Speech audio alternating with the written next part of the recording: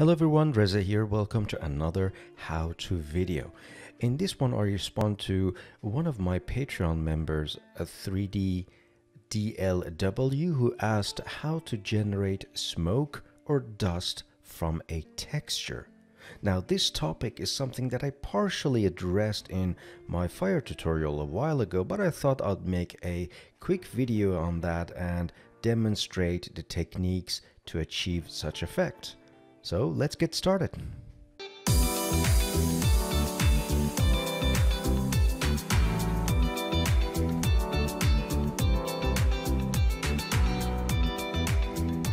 Okay, I'm gonna start with a brand new scene. You can just uh, create a new scene and follow along.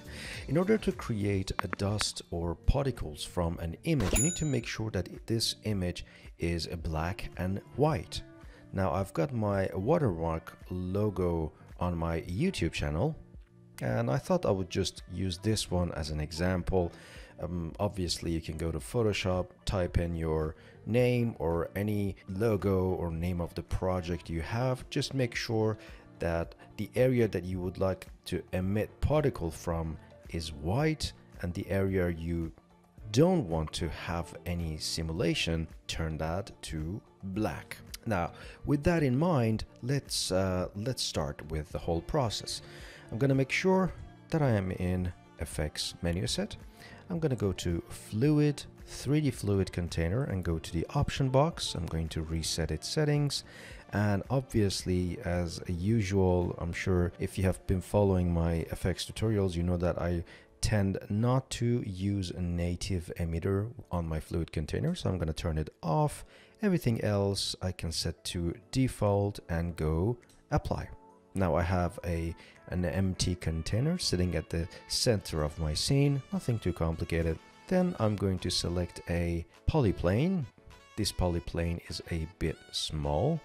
Um, I'm going to scale it up a little and just make sure that this fluid should encompass the geometry inside it. So what do I mean? If you do something like that, then half of your geometry won't get any emission. Now, that's, uh, that's a good starting point. Next is to either lower this or bring up the container itself. I'm going to hide the grid so it really doesn't matter. And now what you want is this geometry to act as your emitter. First things first, I'm going to name it properly. So it's going to be our emitter and is a geometry. So emitter underscore geo.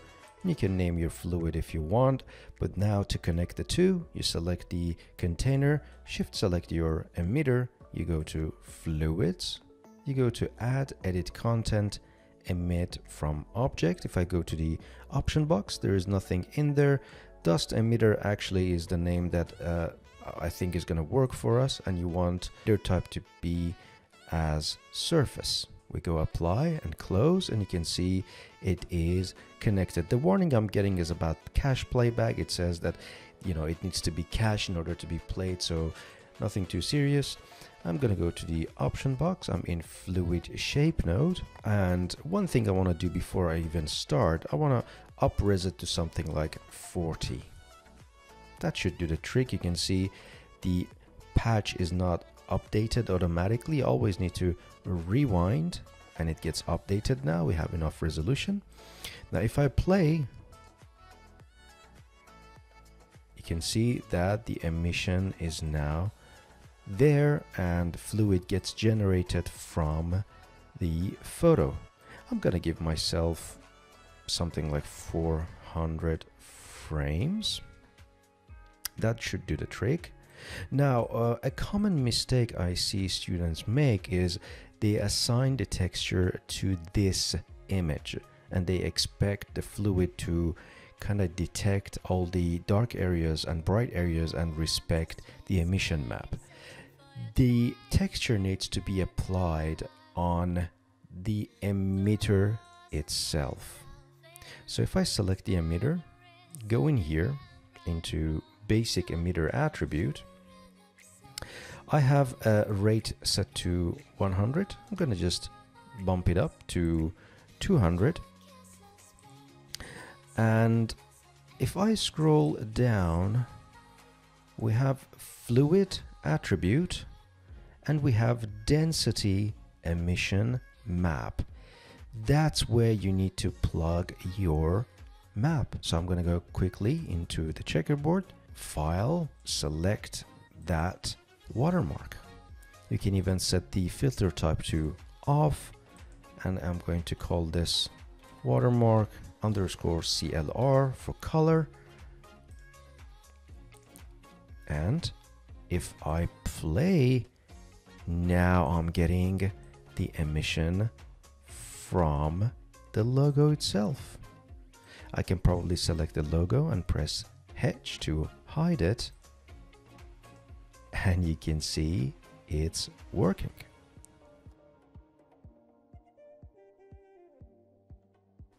Now obviously the result looks a bit silly, so let's spend a few minutes and just tweak the whole result so we get something pleasing. I'm going to start with um, the emitter itself. I want the emitter to emit something, but then I want it to turn off and this dust gets disappeared. So I'm to focus on the emitter for now.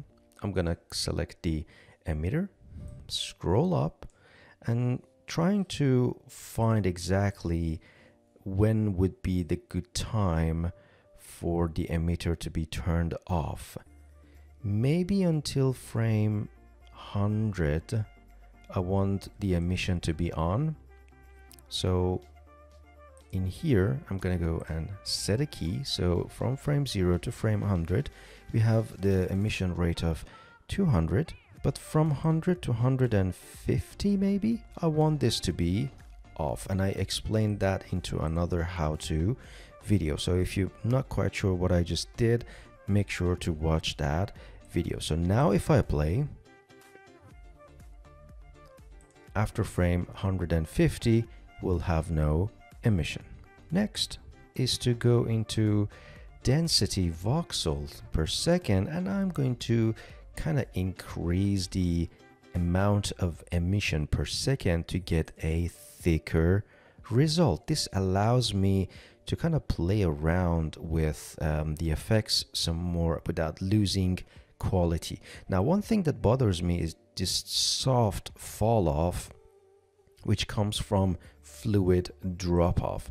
So I'm going to drop this down quite a fair bit to something like 0.05 to get a better result. Now, if I play, you can see everything is very well pronounced. Now, I think for um, my emitter itself, that gets the job done. Let's focus on the fluid shape node. I'm going to bump up the resolution to something like 100 and maybe 20 and then I do not want to have any boundaries for x and z so x and z I want to open the boundaries and every time you open boundaries if you're using auto resize which I'm about to do you make sure to turn off resize close boundaries that constrain these two sides. That should do the trick. In content method, we just want to use density and velocity, so I'm not going to use that. In display, I want to set the boundary draw to bounding box, so I kind of see what's going on in the at the bottom of my container. What else? So dynamic simulation maybe just a touch of damp so 0.001 is what I want to use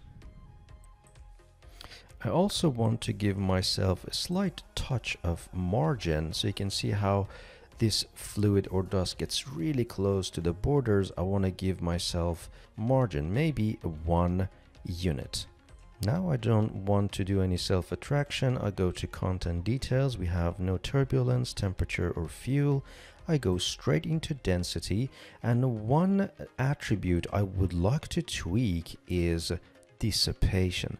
At the moment I zeroed out the dissipation, I can actually go to frame 200 and keyframe a dissipation and go to frame 150 or 250 and set the dissipation to something really high like 10 to intensify the process. So within two seconds our dust disappears. And this is something that probably we want um, the emission I want to be off the dissipation I want to kick in so we get that nice fading out effect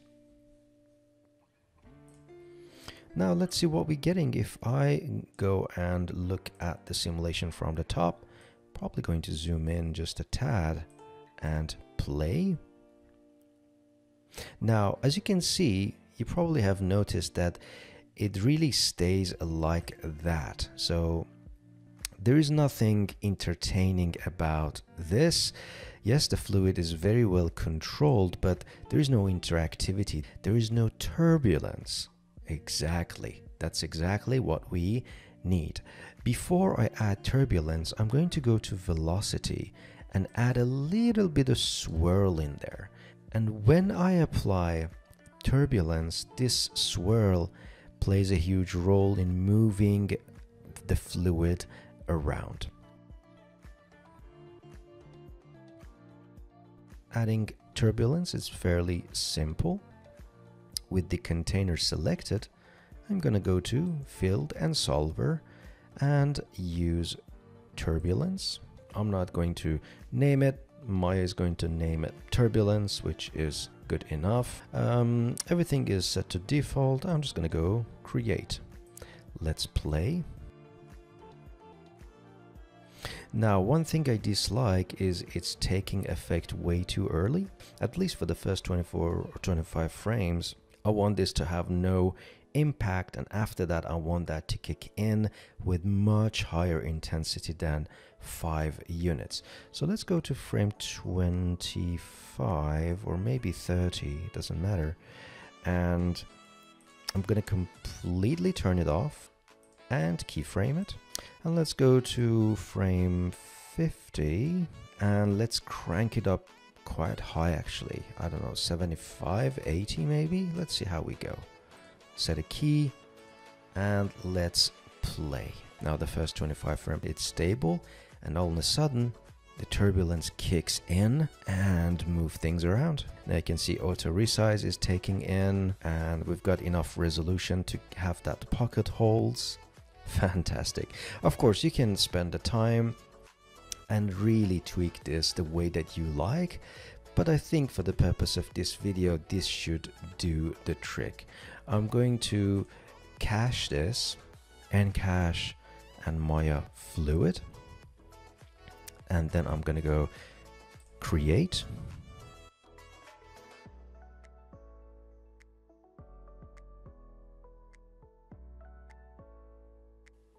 Now the scene is being cached, I can even select the fluid itself, fluid container itself, go up into display and under bounding draw, I can just turn the visibility off.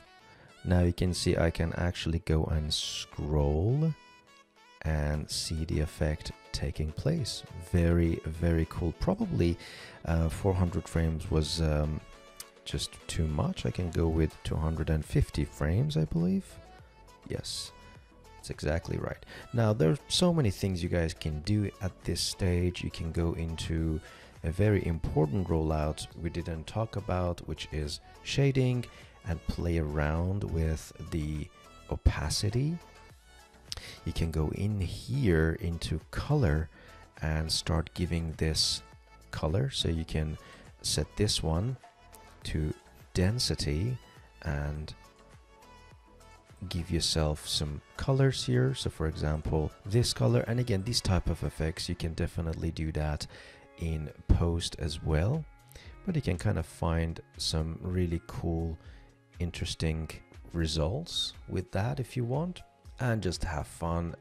You can go into opacity another very very useful rollout and really get artistic with these type of effects. uh, you can also go into lighting and enable self shadow and have a little bit of self shadow in here and have self shadow so you can get something like this right? So the look of the whole thing is totally up to you. I'm just going to play blast it because we haven't had a chance to look at the pace itself i'm going to play blast it. We're going to come back really quick and have a look at the play blast and probably even render it. And that will do the job for this tutorial. So I'll be back really quick.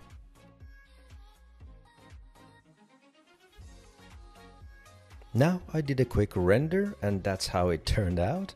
Of course you can kind of bring your own flavor into it, go into shading and play around with colors and with opacity and get a much better looking result, something that you really like. I hope you find this video useful and use it in your projects. Until the next how-to video, see you guys later.